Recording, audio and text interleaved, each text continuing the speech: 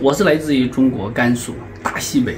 像在我们的家乡，因为呃比较偏僻，呃整个经济的发展没有这么现代化这么繁荣，但是在遥远的南中海的边上的马来半岛，跟我家乡的文化非常相似，尤其是我们在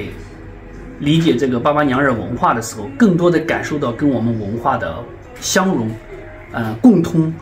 他娘惹的很多的元素在我的家乡依然存在，尤其是我们看完这个娘惹婚礼，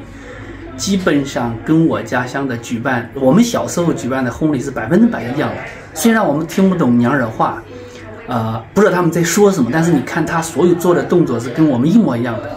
尤其这个重点的一拜天地，二拜高堂，夫妻对拜，这个结婚的整个吹唢呐，实际上跟我们那个小时候的记忆中的婚礼是一模一样的。在这这个文化的交融上，让我们觉得我跟马六甲没有距离啊，这是第一。第二就是我们在这里生活十多年，呃，马来半岛或者尤其是马六甲的人文，我觉得这一个多元包容、人跟人之间的和谐相处，让我蛮感动。我没有异国他乡的味道，也没有异国他乡的感觉。呃，最最感动我的是这里的教育，啊，华人教育完整的。保留与传承，让我两个孩子受益匪浅。对于我的家庭来说，也是非常荣幸，享受到了，呃，华文教育的这个带来的，呃，便利，跟他对孩子未来成长的这种帮助。呃，从小一路走来，我们儿子有读育民小学、培芬中学，呃，老师对孩子的关爱，我认为是发自心底的。我们能感家作为家长能感受得到。啊，对于这种，呃，华人文化这个。的整个尊尊重老师、尊重家长、仁义廉耻，啊，忠孝，我觉得这些文化都伴随着生活的方方面面。我是忠实的受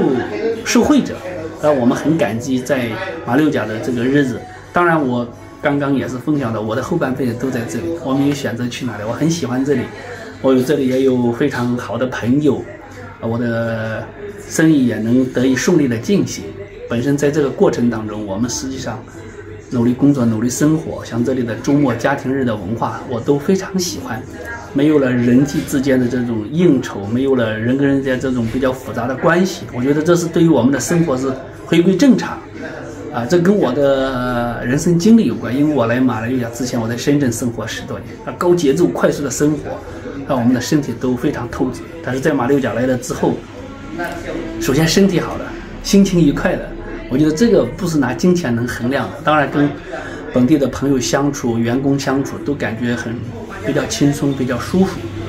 我觉得这个是我的选择，我也从来没有认为我的选择不对，也没有因为这个选择后悔过。